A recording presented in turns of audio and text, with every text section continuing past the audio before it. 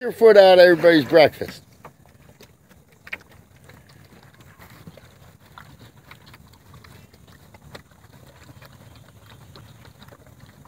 Everybody's trying to eat breakfast and they gotta look at your stinky foot.